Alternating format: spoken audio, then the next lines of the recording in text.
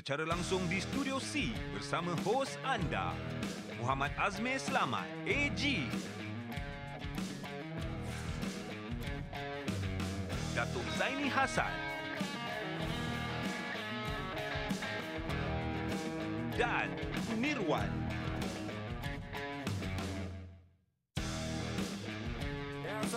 Assalamualaikum warahmatullahi wabarakatuh. Syukur Alhamdulillah hari ini hari Rabu kita bersama dengan anda. 27 hari bulan Januari 2021. Menariknya kami bersiaran di ketika ini di waktu malam. Menemani anda, menemani malam hari anda. Diharapkan semuanya berada dalam keadaan baik, sihat walafiat. Inilah dia Trio On Point. Saya Eji bersama dengan rakan-rakan saya. Datuk Zaini dan juga Nirwan ataupun Jerry. Betul. Selamat malam Datuk. Jerry. Ah, selamat malam. Selamat malam. Oh, ada kelainan sikit hari ini Kita hari ini bersiaran malam eh. Bersiaran malam. Siaran malam tu. Tapi yang penting kita tetap geng kacamata. Oh, Ya, betul. kacamata eh. Ha, Kacamata hari tiga eh. Ya, dan yang pasti hari ini ada satu perkara dan juga satu topik perbualan yang sangat-sangat menarik untuk diri saya sendiri dan Ya. ini merupakan uh, satu perkongsian yang saya rasa saya nak war-warkan juga kepada seluruh rakyat Malaysia, Ya. warga negara Malaysia, apa yang perlu kita ketahui tentang apa yang berlaku di dalam negara kita Malaysia sendiri, Betul. Datuk dan juga Nirwan. Baik, sementara itu uh, kepada penonton NTV 7 pada ketika ini jangan lupa untuk terus memberikan pandangan, memberikan pendapat melalui talian bebas tol Trio On Point 1800 881677 dan jangan lupa ikuti kami di akaun media sosial Trio On Point. Dan anda juga boleh menyaksikan rancangan Trio On Point melalui YouTube live di NTV7 Official Malaysia. Ya. Right. Ya. Yang menarik dan juga hari ini kita nak kongsikan juga pelbagai isu-isu menarik, uh, isu-isu semasa, isu-isu terkini. Uh, antaranya of course kita masih lagi dalam keadaan pandemik COVID-19 Betul. dan dengar cerita ada perkabaran Datuk eh yang mengatakan berkemungkinan besar PKP ini tidak akan dilanjutkan. Apa pandangan Datuk agaknya? Uh, kita tunggu dan lihat. Ya. Ha, saya rasa uh, dia lanjut sampai 4 hari bulan. Uh-huh. So kemudian mungkin dia akan kaji semula lah. Uh-huh. Eh. Be- Betul. Because dia ada jawatan kuasa. Yes. Uh, bebas tersebut yang akan mengkaji sama ada uh, dia akan diteruskan atau tidak ya darurat atau tidak uh-huh. ataupun uh, PKP akan diteruskan Betul, atau betul. tidak mungkin bi- dia dia dia Bila dia Tan Sri Noh Hisham mengumumkan PKPB Ha. uh, PKP sampai 4 hari bulan. PKPB sampai 3 bulan. Uh, lepas tu PKPB sampai 3 bulan. Tiga bulan. Ramai yang uh, banyak persepsi masyarakat Ya. tu. Banyak persepsi, ada yang bersetuju, ada yang tak bersetuju. Eh kes tengah tinggi ni, takkan nak PKPB? Tapi, Hmm. tapi saya saya rasa garis panduan tu masih lagi tak berapa nak nak Cantik. nak nak, nak orang Dah jelas apa, lagi? Mantap. Solid, tak solid Mantap. lagi.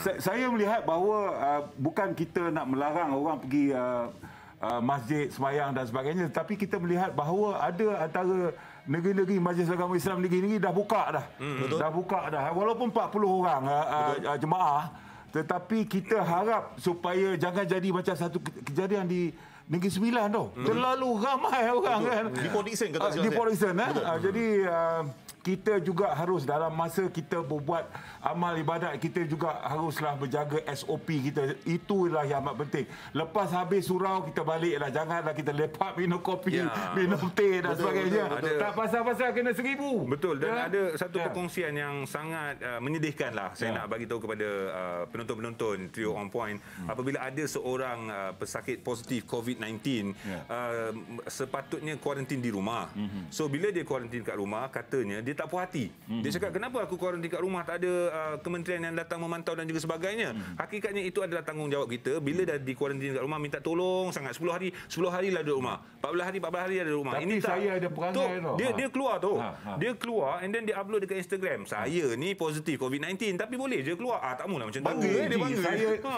saya ni ada perangai sikit. Kalau saya boring sangat ah, pasal PKP ni, saya masuk kereta, saya dengan dengan isteri saya, saya masuk kereta, saya pusing. Okey. Pusing sekejap bandar Shah Alam tu kan ah dah lepas habis boring kita balik rumah. Bagi habigian Tapi orang kita tak ada kontak dengan orang lain. Betul. Kita tak singgah kedai apa dan sebagainya dalam Betul. kita je. Tapi Bagi tu- habigian orang kata. Dah habigian. Tak, yang tu saya rasa okey sebab Ah, kita ya. bukan uh, pesakit uh, apa positif COVID-19. Ya, betul. Ini kita minta disiplin lah, disiplin Betul, kepada mereka betul. dalam keadaan begini, dalam keadaan pandemik COVID-19 harian uh, pesakit yang baru 3000, Betul. 3000 setengah 4000 memang agak sukar uh, pihak berwajib untuk memantau sepenuhnya pesakit-pesakit dan, ini. Dan yang paling uh, menyedihkan sebab uh, hari-hari tu uh, dia punya kadar kematian yang baru tu dua angka.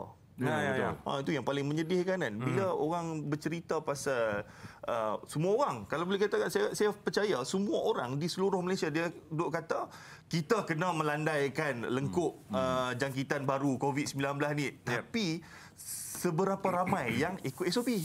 Tapi saya rasa, Jerry, ya, yang paling uh, menyedihkan ialah pekerja-pekerja di hospital tau. Ya. Betul. Walaupun kerjaan dah tambah. Ha, tetapi kalau angka tersebut masih lagi 3,000, 4,000 dan mungkin akan naik, eh, dipanggil spike eh, sampai 8,000, apa akan jadi kat pekerja-pekerja kita? Apa akan jadi kat doktor? Apa akan jadi kat jurawat-jurawat kita dan sebagainya? Saya rasa mereka kerja round the clock tau. Ya, betul, Ha? betul. Round the Betul. clock, letih tau. Mereka Betul. belum ada Jadi- cuti sehingga 10 bulan tu. Jadi hingga, mungkin hingga kita tak ini. terasa Ya. tetapi pekerja-pekerja kesihatan itu saya rasa disebabkan itu kita semua haruslah apa nama Kerjasama jaga lah. SOP Kerjasama. semua Kat sini ya. kita tak Ya. boleh penting diri sendiri ya. Ya, Memang tak kan? boleh. Sebab Baik. kita bercakap pasal apa anggota kesihatan yang uh, rasa kesan dia adalah ahli keluarga mereka. Betul. Kan? Jadi sama-samalah kita memainkan peranan. Itu bercerita tentang pandemik COVID-19 sendiri. Tapi sekarang ini tiada kena mengena dengan pandemik COVID-19. Tapi mungkin ada tempiasnya jugalah. Uh, ini merangkumi seluruh dunia dan juga merangkumi negara kita Malaysia. Sekarang ni ada persoalan yang mungkin anda sendiri belum mahir dan juga dan juga belum tahu. Tak faham pengertian indeks persepsi rasuah. Okey, sekali lagi saya ulang, indeks persepsi rasuah di dalam negara kita Malaysia. Persoalannya, apakah sebenarnya indeks persepsi rasuah ataupun CPI dan siapakah mereka ni? Siapakah indeks per- persepsi rasuah ni? Mungkin selepas ini kita boleh kupas lagi Ya, Datuk. boleh boleh gitu Sebab itulah topik kita pada hari ini ya. Ya. Dan saya percaya ramai sebenarnya yang confuse bila sebut pasal indeks persepsi rasuah ataupun uh, corruption perception index.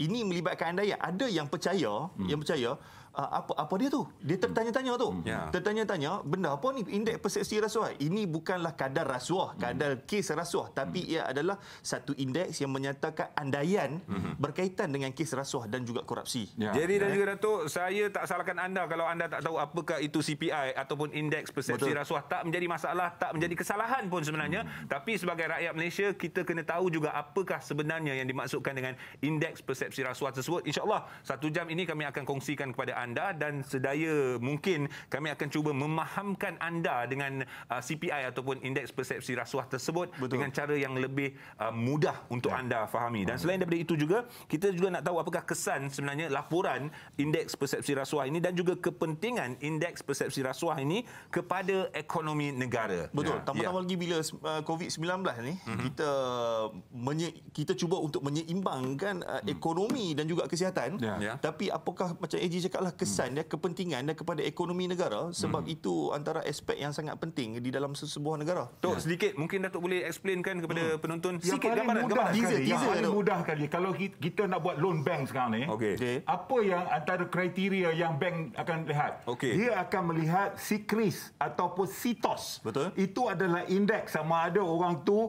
layak untuk dapatkan loan atau tidak. Mhm. Tetapi untuk dunia contoh dia untuk pelabur nak datang melabur di Malaysia misalnya. Baik. So dia akan berteraskan kepada satu uh, tanda aras yang uh, mana telah diikuti oleh sa- 180 buah negara Okey. di dunia Pelabur- iaitu dipanggil CPI itu. Pelabur tu bank ah. Pelabur itu siapa-siapa saja. Dia Oh. nak tengok macam mana uh, suasana uh, apa nama persepsi rasuah di Malaysia misalnya. Ini, ini perumpamaan, So perumpamaan. dia akan dia akan refer kepada indeks CPI Hmm, ini. Kalau indeks CPI kita uh, rendah misalnya kita ni teruk sangatlah eh. Okey. Dia ada dia punya dia ada dia punya dia. scale dia iaitu okey. kosong terlalu rasuah Okey. sehingga sehinggalah yang paling perfect ialah 100. 100. Jadi Malaysia berada di tahap mana? Baik. Baik. Kalau lah baik. Malaysia berada di tahap pertengahan misalnya boleh terima sangatlah. Maksud dia dekat sini Ya. tu CPI ini merupakan satu penanda aras Ya. bagaimana mudah uh, ataupun susah Hmm. untuk membuat perniagaan di Malaysia tanpa ataupun dengan melibatkan rasuah. Betul? Kalaulah pelabur melihat bahawa terlalu banyak kerenah kerenah birokrasi lah uh, macam-macam hal yang berlaku di Malaysia membabitkan rasuah lah terlalu banyak apa nama bawah bawah meja Bawah lah meja. atas meja dan, dan sebagainya Betul. itu menyusahkan pelabur untuk melakukan apa nama aktiviti Betul. ekonomi di negara kita. Jadi Logik dia tu. akan melihat uh, uh, indeks ini sebagai satu daripada tanda aras Faham, mm-hmm. sama faham. ada dia nak berlabur atau tidak. Faham. Jadi kebanyakan negara-negara yang yang yang hebat dari segi uh, uh, apa nama integriti integriti dia dia berada pada tahap 80 ke atas. 80 ke atas. Jadi tak adalah sampai 100. Because 100 terlalu perfect. Nobody is perfect kan. Betul, Walaupun betul. negara yang terbaik sekalipun indeks yang paling tinggi ialah 80. 80. Jadi kita berada di mana? Kita akan bincang selepas ini ya. Cantik. Ya. So segala persoalan mengenai indeks persepsi rasuah ni kita dah berikan kepada anda secara dasarnya, Ya. secara mukadimahnya dan anda kena stay tune bersama dengan kami untuk kita kupas lagi dan juga untuk kita fahamkan lagi apakah kaitan indeks persepsi rasuah dengan kita sebagai rakyat Malaysia. Teruskan bersama kami di NTV7 Trio on Point.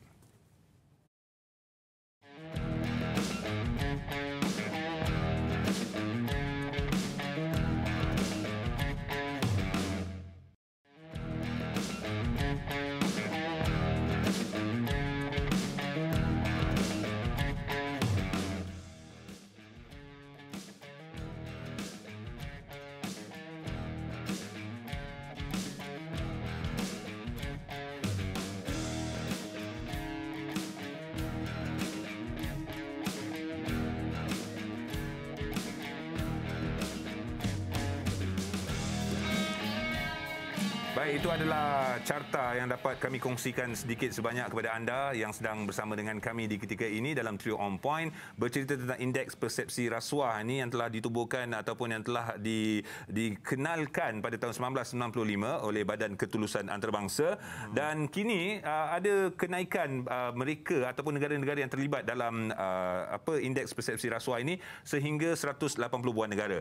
Maknanya kajian ini dilakukan kepada 180 buah negara yang terlibat. Ini merupakan satu survey jugalah yang diajukan kepada mereka ataupun negara-negara tersebut untuk memantau negara-negara selain daripada negara mereka. Contoh yang Datuk berikan sangat-sangat jelas yang mungkin anda boleh uh, fahamkan kita ni adalah uh, bank yang ing, yang yang ingin memberikan loan kepada orang yang nak beli kereta. Hmm. Tapi hakikatnya bila orang tu nak beli kereta kita lihat rekod dia di bank negara. Betul. Ada sikris ataupun tidak. Ya. Cantik ataupun tidak. Dek kerana itulah indeks persepsi rasuah ni begitulah dia punya perumpamaan untuk kita mudah memahami. Dan sekarang Datuk uh, bila kita lihat 80 antara yang tertinggi jugalah. 100% CPI itu memang orang cakap tu tak ada rasuah, tak ada Mustahil. problem. Ya. Tak ada huru-hara lah Tak negara tu. kosong rasuah. Tapi Singapura 80 lebih tu. Ya. Ha. Singapura adalah antara uh, negara di Asia Tenggara eh, mm-hmm. yang mm-hmm. berada di kedudukan pertama.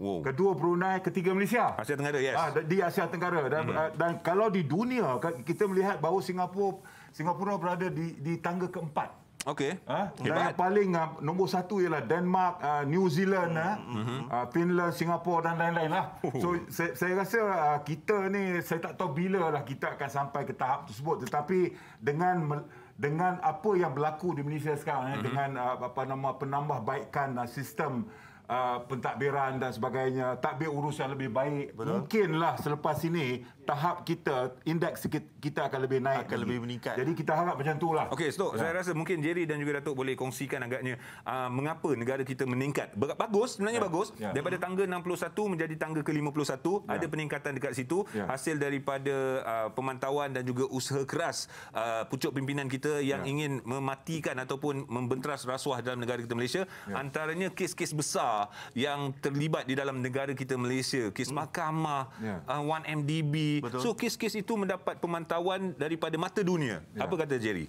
Ya. Okay, saya nampak kan bila bila dengan pendedahan, hmm. bila dengan pendedahan kes-kes yang berprofil tinggi ni, Ya, ya. dia menunjukkan bahawa negara kita ni uh, serius untuk menjadikan sebuah negara bebas rasuah. Baik. Kan? Dan daripada situ uh, menyebabkan uh, dia dia punya reflex ya dekat indeks lah, dekat hmm. uh, dekat CPI, dekat indeks uh, Persepsi rasuah. persepsi rasuah ni Ya. menyebabkan macam Datuk cakap tadi dia akan reflect kepada ekonomi Jadi pelabuhan you, kita kena ingat pada tahun lepas saja SPRM hmm. Suruhanjaya ah, Pencegahan ah, Rasuah Malaysia telah menahan penguatkuasa yang rasuah ya, dalam sindiket peju, uh, perjudian haram di Sungai Buloh. Hmm. SPRM juga dah bongkar sindiket apa nama Macau scam. Hmm. Cuba bayangkan kalau SPRM tak buat tindakan ni tak ada aduan daripada orang ramai tentang sedikit ni dan tak ada pembatasan daripada SPRM misalnya, Betul. apa akan jadi kepada negara kita? Hmm. Jadi kalau kita tengok bu- bukan itu saja, banyak lagi kes-kes contoh dia. Satu istilah yang amat apa nama popular sekarang ni ialah dipanggil uh, kluster penjara.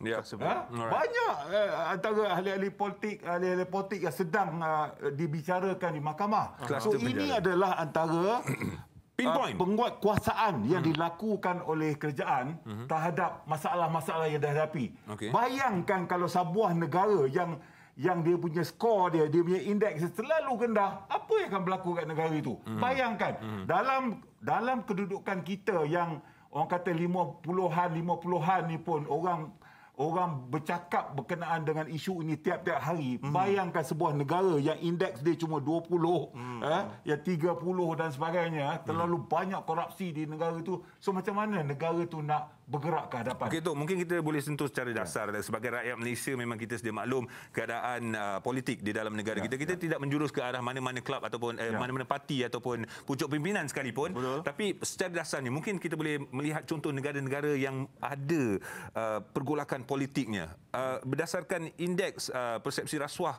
untuk negara-negara tersebut bagaimana Datuk? Ya, bagaimana dia jadi? juga melibatkan uh, sama ada negara itu stabil dari segi politik atau tidak. Mm-hmm. Dia juga termasuk dalam indeks ni. Mm-hmm. Begitu juga dengan kebebasan media misalnya. Yes. Media freedom.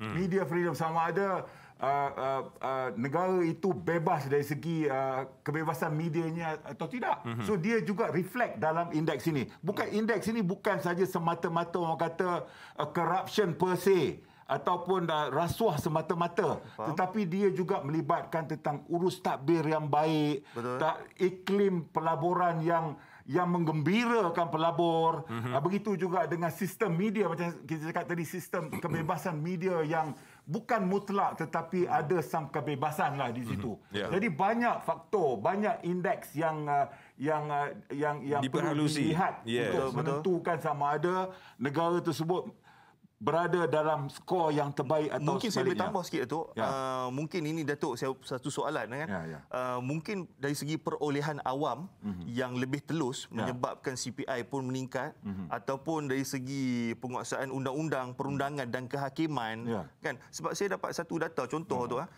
pasal antara antara golongan yang terlibat uh, secara terus dengan dengan rasuah ni tu mm-hmm. uh, persentage paling tinggi peratusan mm. paling tinggi adalah pegawai polis ya pegawai di Malaysia?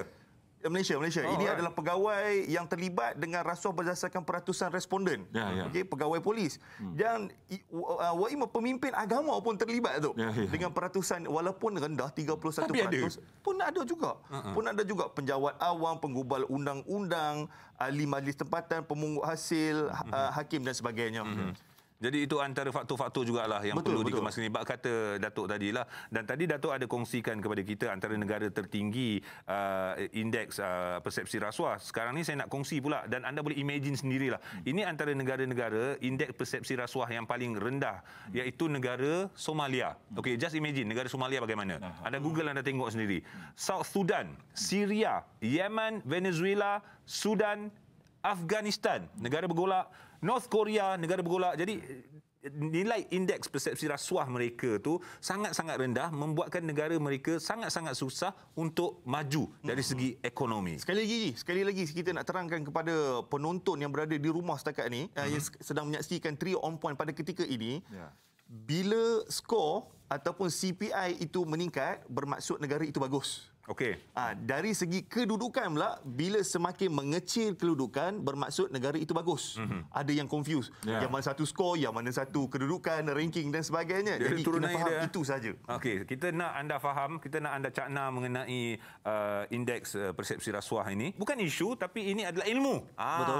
Ini adalah ilmu yang uh, patut kita kongsikan bersama dengan anda. Bersama dengan yang berbahagia, Datuk Akbar Satar, mantan pengurusi Transparency International Malaysia, TM, juga Presiden Presiden Persatuan Pemeriksaan Penipuan Bertauliah Malaysia. Selamat malam. Assalamualaikum, Datuk.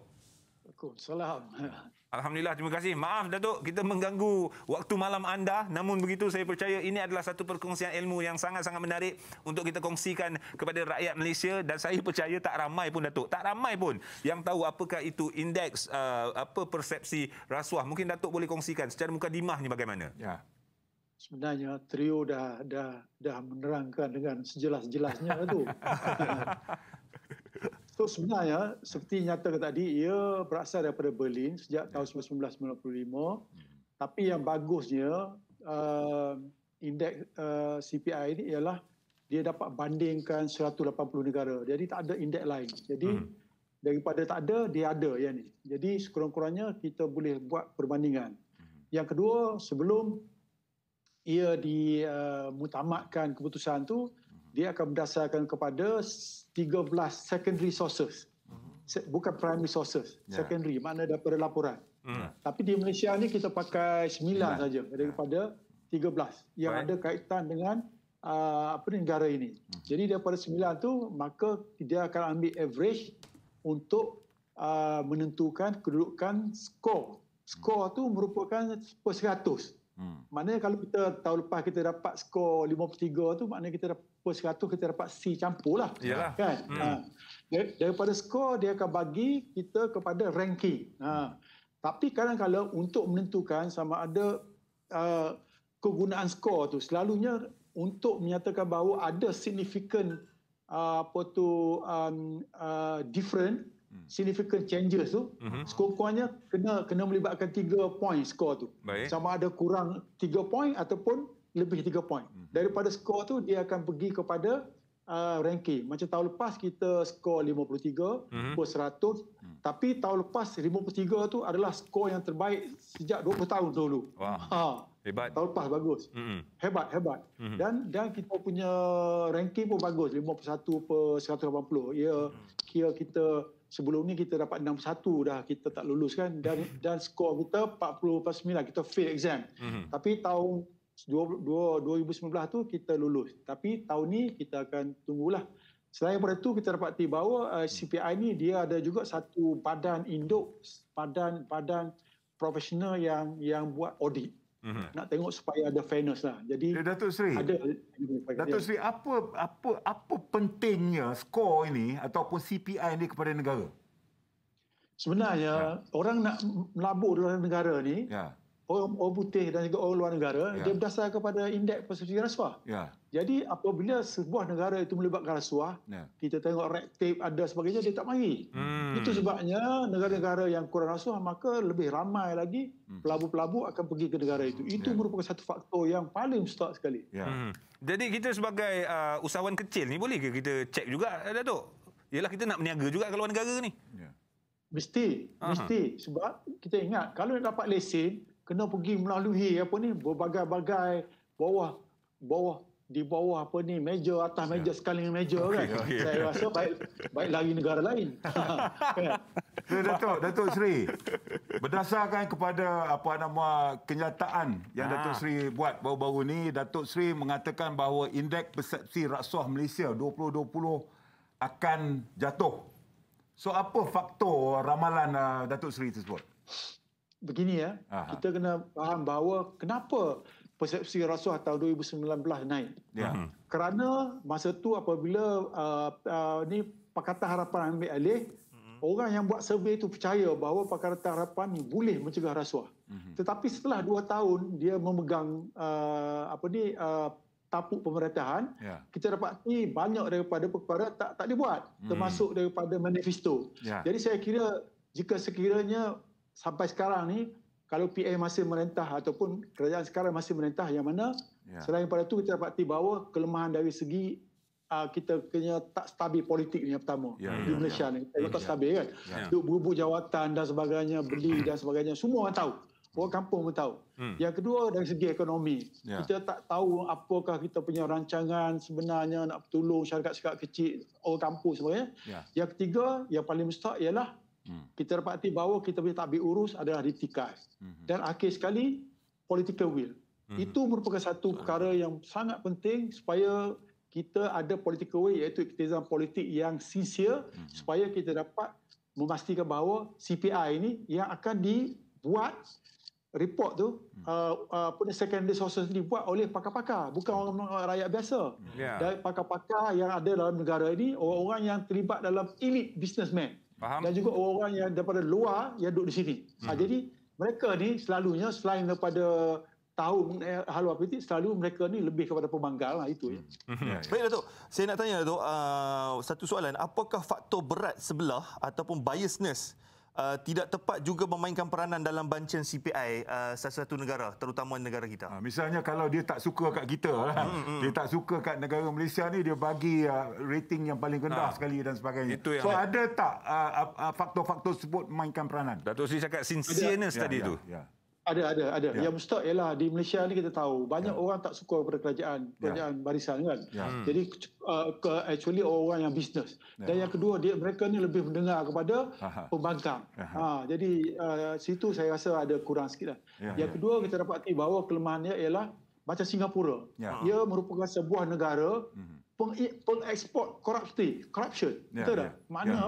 maknanya dia ni merupakan satu negara yang mana hmm uh, menyimpan duit-duit offshore yeah. iaitu iaitu lebih kurang 990 bilion di sana Betul. iaitu lebih kurang Betul. nombor tiga di dunia yeah. tetapi ha. tetapi apa juga duit yang masuk termasuk orang politik Malaysia ke uh. ataupun orang daripada Indonesia daripada Thailand orang politik yang nakal ni tapi tak ditapis kan yeah, bukan yeah. semua nakal ada yang nakal yeah, yeah. jadi itu merupakan satu yang tak bagus sedangkan Singapura ni kadang-kadang dapat nombor empat kadang yeah, yeah, tahun lepas dapat nombor satu yeah. ha, ini ini unfair dan uh-huh. satu lagi kita dapati bahawa orang Singapura ni dia pandai kadang-kadang uh dia tahu report tu siapa buat. Ya. Katalah okay. kita ada sembilan. Ya. Ha, dia akan okay. pergi kat report tu. Jadi ya. dia akan tunjuk apa dia buat. Macam kita ni, marketing ya. kita ni saya rasa begitu ha. kurang. Hmm. Kita banyak tangkap sana tangkap sini petugas tapi marketing kita uh, agak kurang di situ. Ya, Datuk Sri, saya tertarik bila Datuk Sri menyentuh sahabat kita di Singapura tu, ya. saya tertanya-tanya juga adakah faktor tangga gaji memainkan peranan dan saya difahamkan hmm. tangga gaji mereka yang berada di Singapura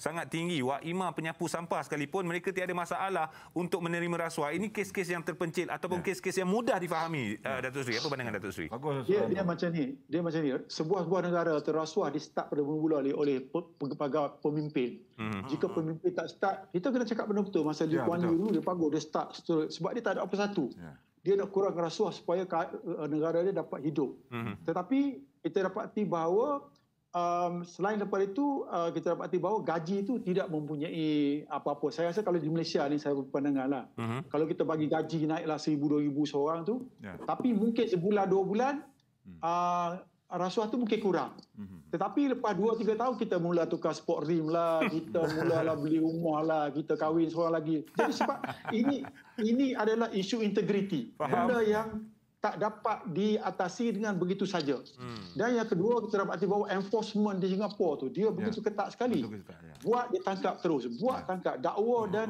ya. gitu juga di Indonesia. Kita dapati dalam pendakwaan dia tu 100% dapat ni. Maknanya dia yang pertama sekali bukan saja iktizam politik di Indonesia contoh di Singapura. Yeah. Mm-hmm. Yang kedua ialah uh, effectiveness of uh, anti corruption agency ni kita yeah. okeylah. Mm-hmm. Yang ketiga sokongan rakyat. Yeah. Ha, dia rakyat di, di Indonesia dia sanggup buat bangunan tu. You know, uh, dia punya anti korupsi ni. Yeah. Saja bagi. Ha, dia semangat itu. Tapi di Malaysia ni kita tak nak jaga tepikai orang. Kita kalau orang rasuah tak nak report takut kena buang kerja dan sebagainya. Mm-hmm. Jadi kita tak ada semangat tu. Mm-hmm. Jadi saya berpandangan bahawa ini merupakan isu integriti. Mm-hmm. Isu integriti ini hanya boleh diselesai mm-hmm. apabila kita ikut model model apa tu model Sweden dengan dengan apa Denmark. Denmark yang mana mereka Ha.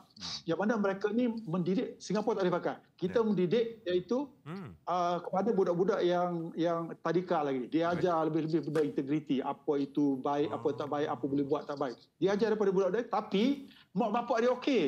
Mak bapak dia tunjuk contoh baik. Saya takut di Malaysia ni kalau kita ekspor, import uh, profesor ke ada PhD daripada Oxford ke daripada daripada Harvard ke kita suruh mengajar kelas tadika. Hmm. Walaupun dia bagus tapi balik rumah tengok bapak kita tak ada disiplin, tak Yalah. semualah. Yalah. Ahli politik. Tengok rumah satu lori ada ada ada duit kan, dia pun suruh anak kira duit, dia bagi tahu duit dapat ke mana-mana. Jadi sampai bila kita tak akan selesai. Betul. Ini adalah isu integriti.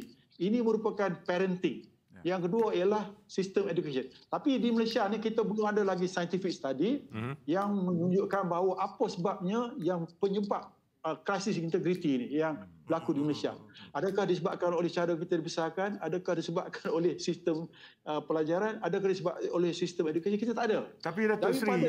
Datuk Sri yang malang sekali Datuk Sri. Eh. Kalau kita tengok dari segi apa nama uh, kaum-kaum yang terlibat dalam rasuah ni kita melihat bahawa orang Melayu Islam kaki tangan kerajaan, penjawat awam yang paling banyak sekali terbabit dalam uh, uh, soal integriti dan rasuah ni. Jadi apa komen uh, Datuk Seri sendiri? Ini ini betul berlaku. Ya, Jika ya. kalau kita kalau kita tengok kalau ikut Muhammad Abdul ya. dalam abad ke-18 dia menyatakan bahawa jika nak, nak kita lihat negara Islam hmm. kita pergi kepada negara-negara di barat dia kata. Hmm, hmm, hmm. Di Sweden, Denmark. Okay. Kalau nak tengok kalau nak tengok uh, muslim pergi negara saya iaitu ya. Egypt. Ya, ya. Dua abad dulu nak cakap. Betul. Seorang profesor dari University Washington DC, ya. seorang profesor orang Islam, ya. nama dia Profesor Hussein, ya. dia telah membuat kajian 180 negara juga mengikut uh, CPI ini. Ya. Okay. Dia nak tengok negara-negara yang yang yang majoriti Islam dan juga bukan majoriti Islam, uh-huh. dia nak tahu sama ada negara mana yang betul-betul ikut Al-Quran dengan sunnah. Faham? Dia buat buat buat kajian buat kajian, tengok hmm. rupanya nombor satu New Zealand, yeah. nombor dua Denmark. Yeah. Bukan negara Islam. Best sekali ya, Malaysia okeylah 48. Tapi ya. yang best sekali Saudi Arabia. Hmm. Halal halal halal 151. Ah, sepatutnya dia hmm. sepatutnya dia tunjuk contoh yang baik kepada kita. Betul. Sebab yes. Islam kita ingat. Hmm. Sebab tu kajian menunjukkan bahawa ciri-ciri Islam apa saja nilai-nilai Islam yang ada tu yang dikaji oleh Profesor Hussein rupanya ada di New Zealand, ada di Denmark, tapi Baik. tak ada tempat negara. Uh, Datuk Seri, saya rasa ini soalan terakhir lah. Hmm. Ramalan Datuk Seri besok Ya, besok dia akan umumkan ramalan Datuk Seri. Kalau banding uh, tahun lepas kita skor kita dah 53 per 100 okay. dan kedudukan kita 51. Hmm. Tahun tahun 2020 ni macam mana? Lulus ke tidak? Ha, lulus atau tidak?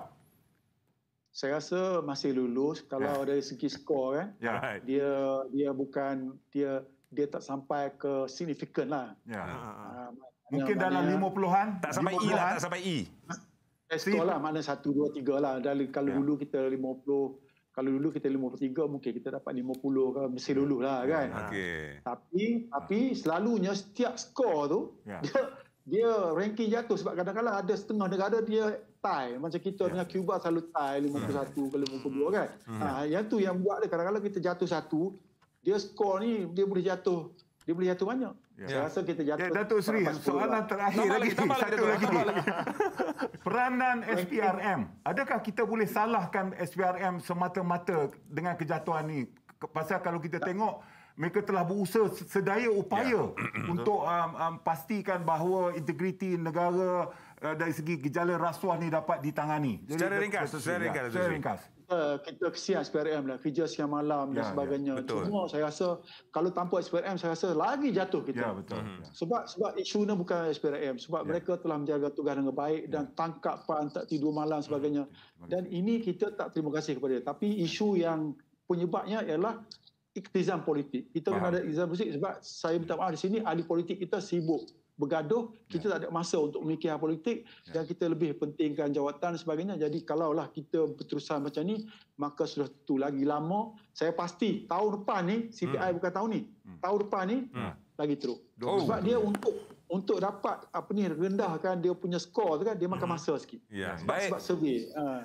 Datuk Seri Betul. Hebat, kami, Datuk kami ya. sangat Mantap. jelas dengan ya. apa yang Datuk Seri kongsikan bersama dengan kami. Terima kasih banyak-banyak dan saya percaya penonton-penonton di NTV7 pun jelas dengan apa yang dikongsikan oleh Datuk Seri. Terima kasih banyak-banyak Datuk Seri. Assalamualaikum. Sama-sama. Boleh sambung rehat bersama dengan keluarga. Ya. Itulah dia sekali lagi Datuk Seri Akbar Satar uh, merupakan Presiden Persatuan Pemeriksaan Penipuan Bertauliah Malaysia Transparency International Malaysia TM. Baik, um, kita nak belajar sesuatu lah. Okey. Okay. Uh, seperti biasa, setiap petang. Okay, setiap kita relax Mina. Ha? Kita relax Mina. Eh? Uh, kita relax Mina. Tadi dah panas tadi kan. Uh. Input banyak masuk. Saya percaya yeah. ada ramai yang sebenarnya tengah proses, tengah ada uh. orang cakap apa, blend uh. dalam kepala otak nak tu. Kadam, apa CPI ni? Ya Allah, pecah kepala otak aku. Uh. So, kita relax sekejap dengan peribahasa.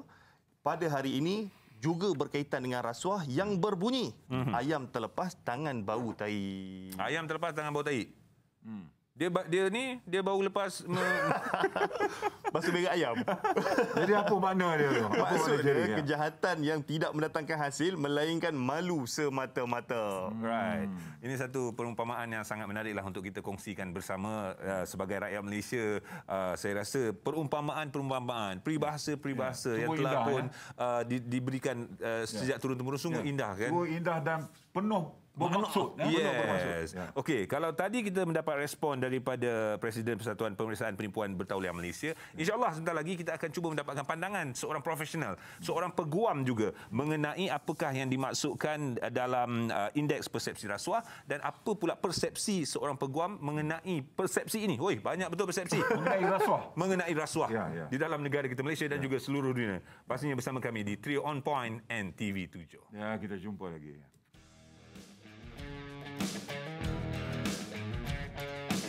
Mahkamah Tinggi Kuala Lumpur menetapkan 30 Ogos depan untuk pengurusan kes memerbitkan bekas pengurusi Felda Tan Sri Muhammad Isa Abdul Samad yang didakwa atas satu pertuduhan pecah amanah dan sembilan pertuduhan rasuah lebih 3 juta ringgit. Seorang Deputi Komisioner antara 29 pegawai dan anggota polis yang sedang disiasat dipercayai terbabit dengan sindiket didalangi Edikana iaitu kegiatan perjudian dalam talian. PRM menahan 20 individu termasuk 8 pegawai dan anggota polis bagi membantu siasatan berkaitan kegiatan pengubahan wang haram. Pihaknya sudah mempunyai senarai individu terlibat termasuk selebriti yang mempunyai kaitan dengan sindiket berkenaan. Suruhanjaya Pencegahan Rasuah Malaysia SPRM menahan empat lagi individu untuk membantu siasatan berhubung sindiket rasuah dalam urusan cop palsu di pintu masuk antarabangsa negara menerusi Opselat. Anggota Immigration Grade KP19 yang memiliki bersama empat kenderaan mewah bernilai jutaan ringgit dengan salah seorang ejen pekerja asing yang ditahan baru-baru ini didapati mempunyai rekod jenayah lampau.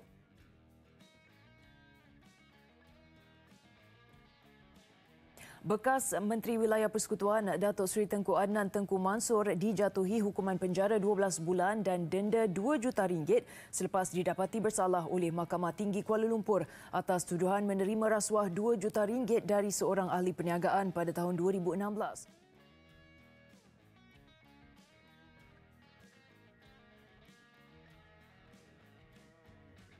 Jangan ada sebarang usaha melindungi mana-mana pihak termasuk orang kenamaan yang terbabit dengan penyelewengan isu kartel daging haram.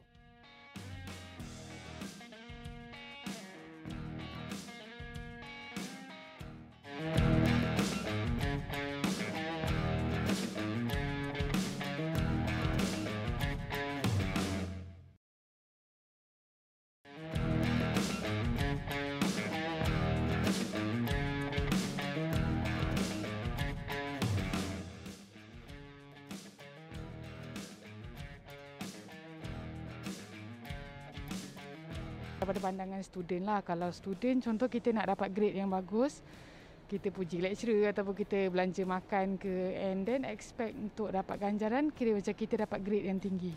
Macam penguat kuasa kan nak sama orang tu tapi uh, orang tu bagi duit sikit. Uh, penguat kuasa tu pun macam uh, tak tak sama lah.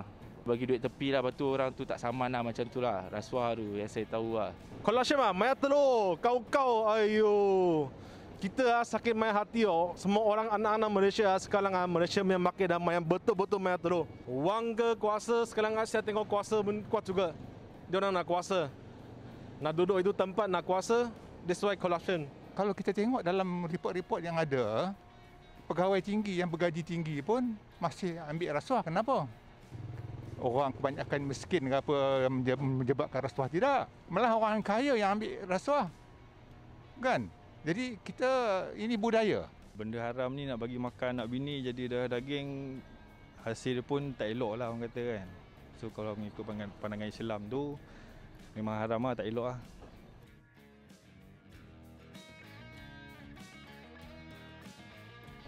Kita kalau sebagai pelabur, kita mesti nak dapat keuntungan kan. So bila kita fikir kita nak melabur ke dekat negara yang banyak isu rasuah, yang ekonomi tengah jatuh, kalau saya, saya jadi pelabur, saya takkan melabur lah dekat negara yang tengah penuh dengan isu rasuah dan tengah jatuh ekonomi sekarang kan. Kalau ekonomi jatuh pun, kerja pun susah. Sekarang tengok peniaga pun banyak saya tengok dah bungkus apa semua kan. Kesian dengan pada orang tu nak bayar kereta, nak bayar rumah pun memang susah gak lah. Saya rasa kalau tak ada adjust lagi yang mungkin lah, after few years Malaysia number one corruption banyak tinggi ya itu foreigner semua nak nak masuk Malaysia perancung ah semua takut Sebab dia orang fikir ya, orang Malaysia, anak Malaysia semua ini macam. Next minute itu turis park ah, semua habis menyaga.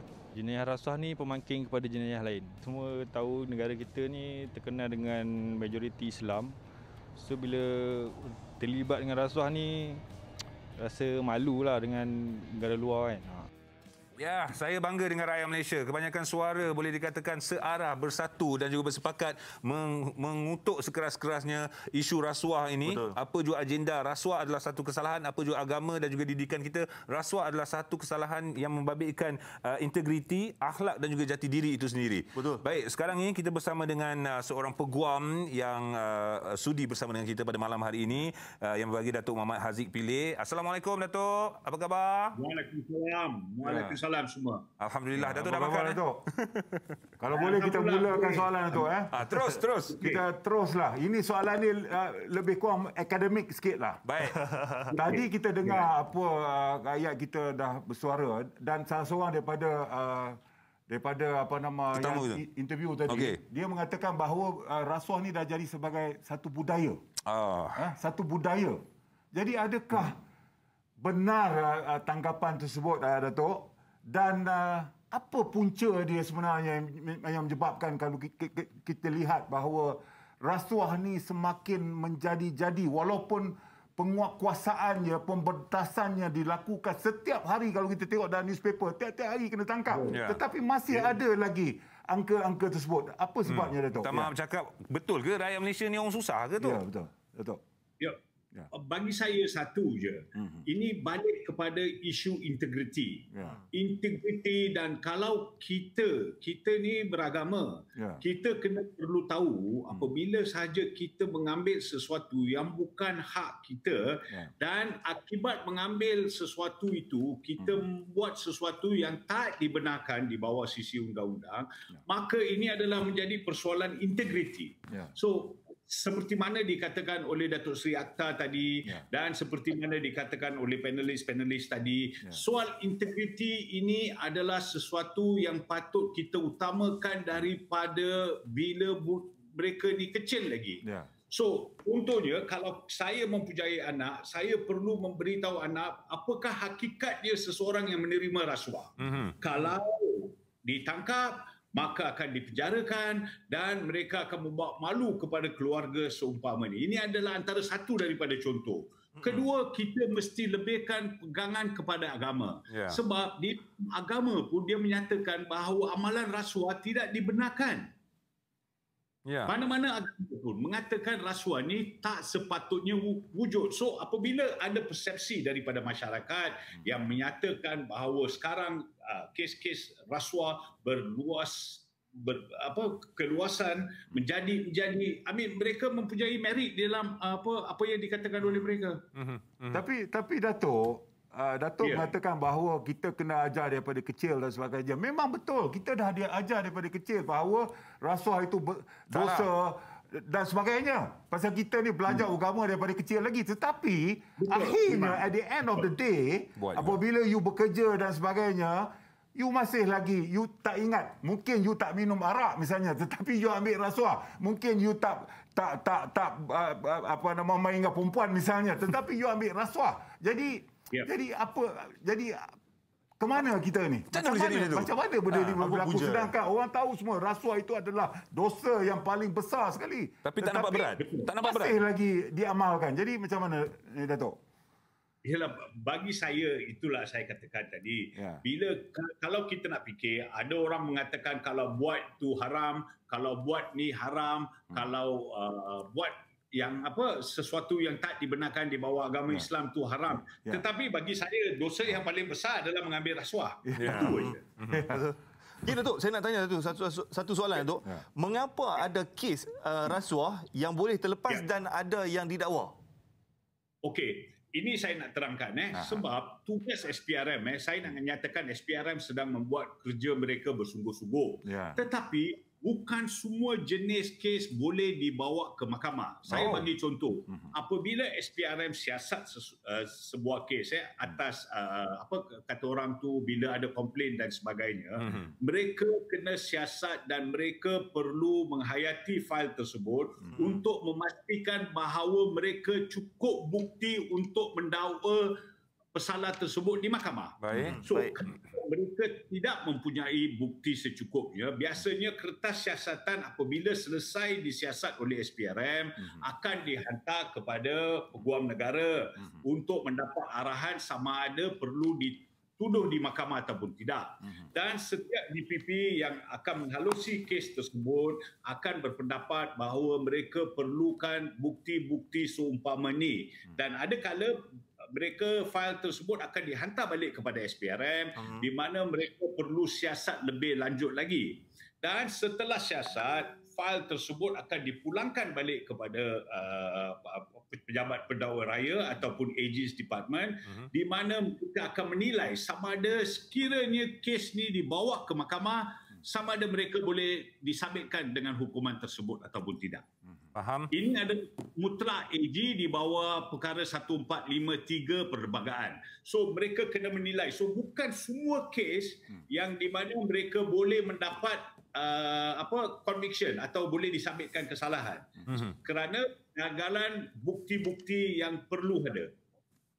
Mm-hmm. Mungkin ramai yang tak faham ni. Ya, ya, ya. Betul. Faham, faham, faham. Okey, Datuk. Saya nak tanya satu lagi soalan, Datuk. Mm-hmm. Uh, yeah. Melibatkan melibatkan uh, akta iaitu pelaksanaan peruntukan liability korporat membabitkan organisasi komersial. Section 17A, akta yeah. SPRM ni, Datuk. Kan?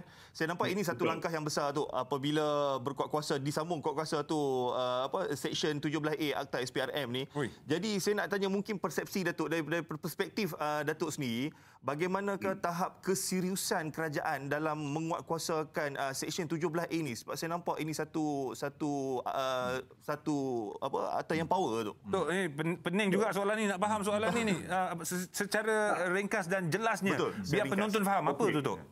Alright. Section 17A ni memang sesuatu yang penting. Hmm. Sebab sekarang ni apa yang SPRM dan sebagainya buat, mereka pergi ha. biasanya berlibatkan kaki tangan kerajaan saja. Hmm. Tetapi kita harus faham hmm. di dalam bidang corporate pun memang ada rasuah. Hmm. So, bila Section 17A ni dah dikemukakan dan dah, dah di apa dibahaskan dan dah di apa menjadi akta, hmm. mereka boleh menggunakan akta uh, Section 17A untuk contoh saya bagi secara simple lah yes. mudah. Yes. Okey, saya gunakan saya sebagai contohnya. Hmm, baik. Saya kenal orang tu, dia adalah ahli korporat. Okey, dia tender nak memberi kepada uh, syarikat ABC. Mm-hmm. Tetapi saya kenal dia, saya berurusan dengan dia dan maka saya dapat kontrak tu. Now, saya dapat kontrak tu bukan kerana kewibawaan saya. Baik. Akan tetapi saya dapat kerana perhubungan saya dengan dia di hmm. mana ada juga pembayaran wang kepada dia. Kabel lah ni tu. Hmm. boleh digunakan. Hmm. Cara ringkas dan yeah. mudah supaya penonton boleh faham. Ya. Yeah. Hmm. So Dato' ini ini soalan terakhir lah. Saya ni banyak soalan terakhir. Tak apa tu. Bagi dok, bagi. Uh, berkenaan dengan kes-kes berprofil tinggi, uh, Dato' eh. Yeah. Kita yeah. melihat bahawa ada dakwaan mengatakan bahawa kes-kes berprofil tinggi ini yang melibatkan ahli-ahli politik ini, kes ini banyak melibatkan uh, apa nama unsur-unsur politik lah, ya, di mana pendakwaan hmm. mereka ini banyak dikaitkan dengan unsur-unsur politik. Itu satu. Mm-hmm. Satu lagi ialah berkenaan dengan political fund ataupun dana mm-hmm. politik. Kebanyakan mm-hmm. daripada tertuduh kalau kita melihat mereka mengatakan bahawa duit yang masuk kepada mereka ini akan digunakan untuk untuk politik. Untuk Sedangkan kita harus ingat bahawa mereka adalah ahli parlimen, pembuat Pem, pem, pembuat uh, undang-undang di parlimen dan mereka telah meluluskan tentang akta apa nama uh, akta akta wang wang hadiah tersebut. Hmm. Jadi ada kalau kita tengok sini ada sikit-sikit konflik lah. Hmm. Dan satu lagi Datuk tentang apa nama akta uh, apa nama wang pilihan raya political fund ini sekarang ni masih lagi belum di, di, di, di, di, dibawa di parlimen. Jadi apa pandangan Datuk? Jadi ada tiga sekali lah kita rangkumkan sekali. Ya. Secara ringkas tu, ya, silakan. Secara ringkas. mungkin secara ringkaslah seperti mana tadi ya. dikatakan oleh Datuk uh, Datuk Sri Akhtar tadi ya. ya, ya. Bagi saya sama ada kita mengambil wang tu sama ada bertujuan untuk politik ataupun tidak ya. bukannya alasan yang kukuh. Ya. Kerana wang tu datang daripada sumber yang tak dibenarkan. Ya. Okey. Simple sahaja. Ya, ya. Kita tak perlu confuse. Sebab kenapa? Sama ada wang yang datang uh, kita nak gunakan sebagai pembelaan di mahkamah bahawa itu adalah political fund ya. atau sebagainya. Saya rasa hmm. biasanya kalau tengok dasar mahkamah sekarang, hmm. mereka tidak akan mengambil kira sama ada itu adalah political fund ataupun tidak. Sebab ya. tak ada bezanya. Dia tak ambil peduli tu kan? Mana hmm. datang you? Mm-hmm. Ya, ya, ya. Baik, Dok. Terima okay. kasih banyak-banyak. Terima kasih. Terima kasih. Kita, ya. Kalau boleh nak borak panjang. Tapi insyaAllah, Datuk. InsyaAllah ada masa kita bersama dengan Datuk lagi. Sekarang ya. itulah tadi Datuk uh, Haziq, uh, Datuk Muhammad Haziq Pilih. Ya. Uh, seorang peguam yang uh, jelas perkongsian yang diberikan betul, kepada betul. kita pada hari ini. Alhamdulillah saya rasa dalam masa satu jam ini rakyat Malaysia dapat manfaat. Betul. Itu yang kami mahukan. Manfaat ya. untuk anda dengar, untuk anda lihat dan untuk anda fahami. Uh, point dan juga tujuan utama kita, trio on point di kita ya. ketika ini, ya. kita nak anda tahu apakah itu yang dimaksudkan de- de- dengan uh, topik perbualan kita pada hari ini, ECPI. iaitu indeks persepsi rasuah itu sendiri. Baik, InsyaAllah kita akan bersama dengan anda lagi. Jadi terus bersama dengan kami dengan pelbagai cerita-cerita menarik. Kita nak selam-selam dan selam lagi dalam 3 On Point di NTV7. Ya, kita jumpa lagi.